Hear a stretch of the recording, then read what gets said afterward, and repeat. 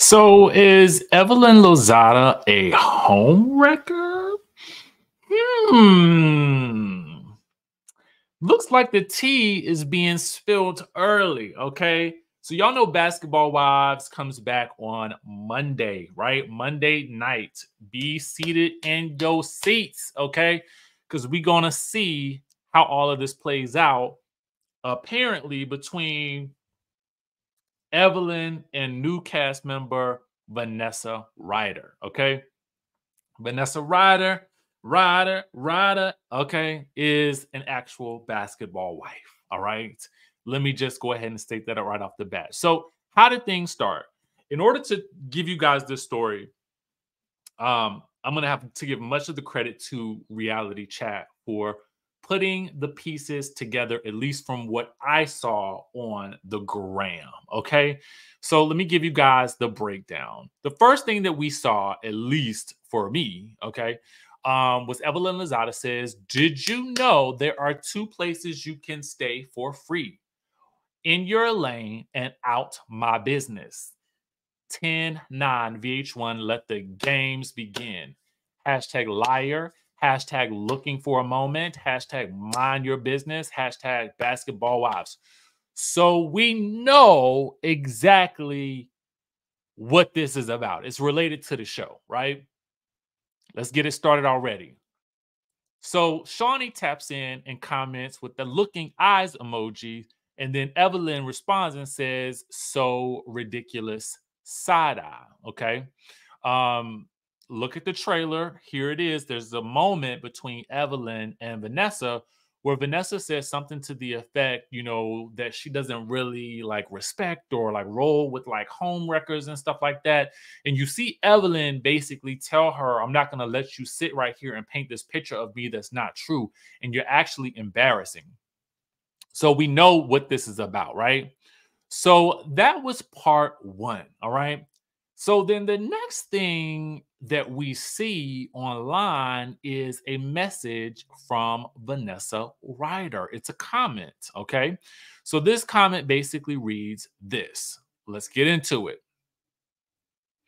The comment reads, Yes, Evelyn is a homewrecker. That's my opinion. That's my opinion. I was kept in the dark about who else was cast on Basketball Wives, and it was revealed to me strategically in real time. So I guess my question, well, it's not really a question. I guess what she's trying to tell us is that there was maybe she didn't really know who was on the cast when she signed on for filming. But I love this backstory that we're getting right here. She says, I've been contacted for 10 years regarding joining the cast because, yes, I am a basketball wife. So it sounds like she was probably contacted when the show first began out in LA. She says, pun intended, I, I call it like I see it. Thirsty is going around through every league there is and leaving and coming back to a show five times. But if you want to play games, let the games begin then. Woo! Woo! Woo! I mean, the shade starts early, as Evelyn says. So Evelyn now is giving a clap back or a response, so to speak. What do you think she had to say? Well, we can actually play it for you here. So let's get into it. All right. Turn the sound on and let's take a listen here to what was posted also on reality chat and then we'll talk about it. Hey everybody. So i was sitting here in my office reflecting and thinking about this upcoming season of basketball wives uh, which airs on monday on vh1 9 8 central. And um, i don't know i was just sitting and thinking about everything that happened this season. And you know i will say i try really really hard to not discuss or put people on the show that don't want to be talked about on the show. Um, so I'm assuming she's talking about Carl Crawford here, but she's going to dive into it more. And maybe this is where the home wrecker comment comes in at. I guess in my opinion, it feels like Evelyn is trying to, you know, get in front of this story because it's kind of already out there. So we gotta let's let's go ahead and discuss it. My son's father is one of them in the history of doing the show. I've never needed to talk about Carl. I don't need Carl for a storyline. I was doing the show before I met Carl. Um, I have never discussed, you know, his personal business with, you know, the mother of his children. I also respect her and her privacy. Um, and everybody's not cut out for the reality TV world and they don't want to be a part of it. So I respect.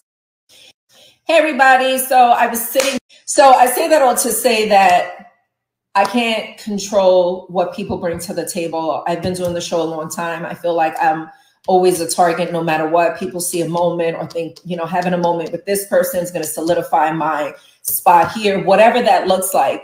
But I will always defend myself against bullshit. I was I will always defend myself against lies. Um, and my relationship when it comes to my son's father and what it was back then and what so did she allegedly wreck a home? Norman norman get go, go back in the in, in the archives and get the details on that relationship when it first started.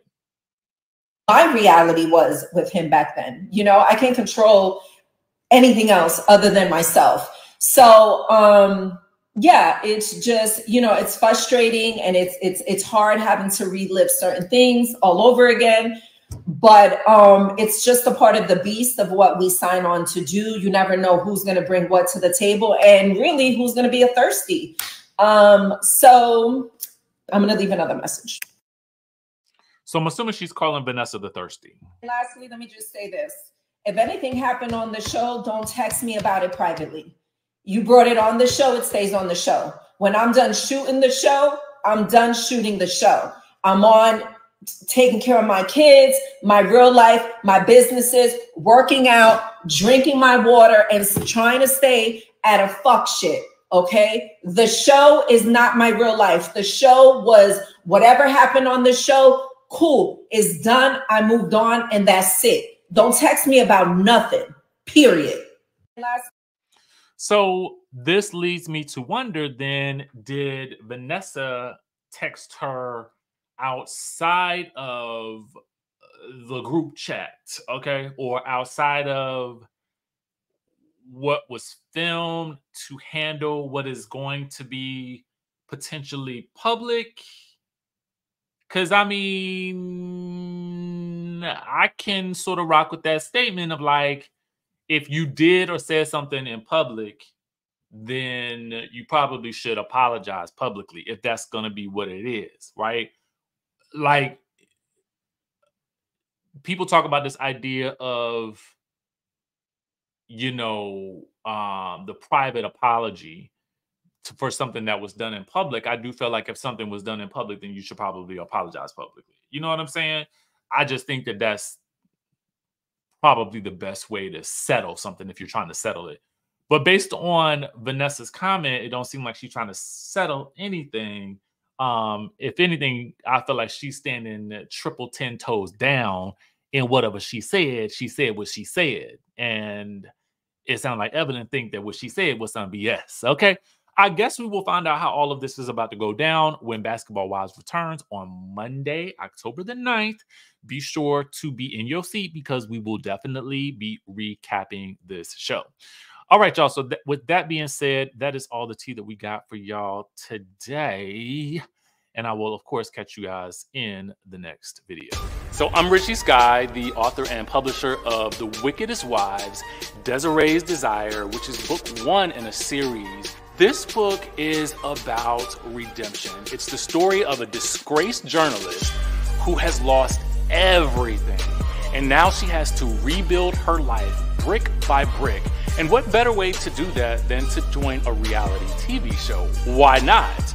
Now, not only are we talking reality TV, so you know there's gonna be scandal, you know there's gonna be a little bit of deception, backstabbing, a little romance, and why not throw in a sprinkle of murder to really round out the excitement?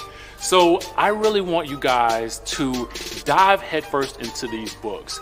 Desiree's Desire is just the first of many to come. So I'm super excited for you guys to read this, and I want to know exactly what you think. So be sure to follow, like, share, and subscribe, and stay tuned for more.